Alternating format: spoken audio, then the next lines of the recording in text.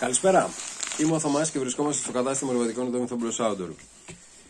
Σήμερα είναι τσικνοπέμπτη. Περιοριστικά μέτρα και κορονοϊό δυστυχώς δεν μας αφήνουν να ζήσουμε το όνειρο.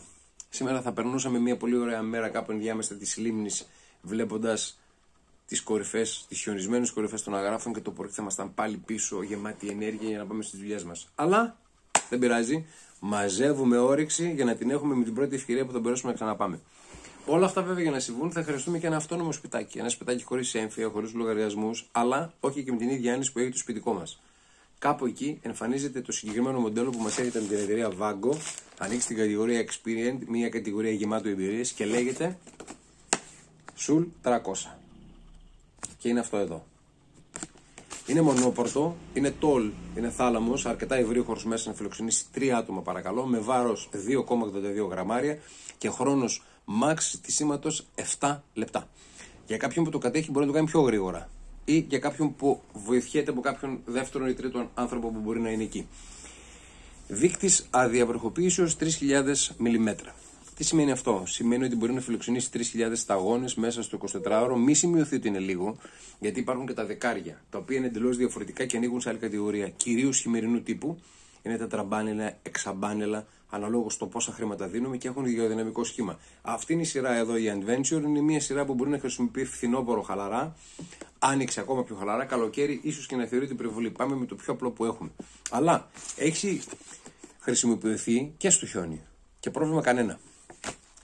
Ιδανικό αντίσχυνο, λόγω του βάρους του, η χωρητικότητα είναι μεγάλη, το σύνολο του θαλάμου που μπορεί να φιλοξενήσει είναι μέσα 2,85 επί 1,80, χαλαρά και με την τρία άτομα, καθώς επίσης και σιγά σιγά θα μας έρθει και η σειρά 200 και 100. Και τι σημαίνει αυτό; Κατεβαίνουν τα άτομα, 2 και ατομικό. Το ατομικό, αν θυμάμαι καλά, πρέπει να βρίσκεται περίπου στο 1,80 σε βάρος και είναι αρκετά χαμηλό βέβαια, αλλά είναι για αυτόν που θέλει το πιο μικρό, το πιο ελαφρύ δεν είναι, αλλά το πιο μικρό είναι σίγουρα.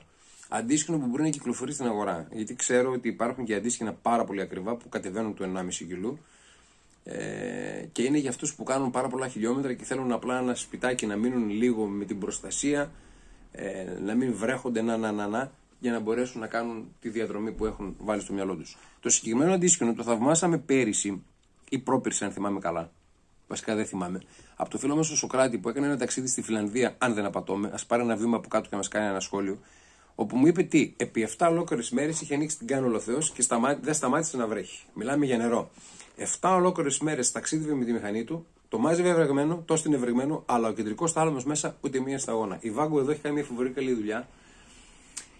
Και δεν είναι ότι είναι το ύφασμα μόνο αξιόπιστο. Βλέπουμε και τη θερμοκόρηση και καταλαβαίνουμε ότι έχει επενδύσει. Και έχει επενδύσει σε ένα αντίστοιχο που είναι πάρα πολύ χαμηλό στην τιμή του.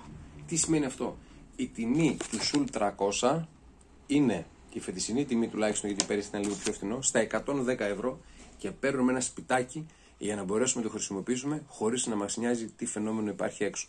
Από το θέμα του Βυθόπουλου Σάντος, σας ευχαριστώ πολύ. Τα λέμε στο επόμενο.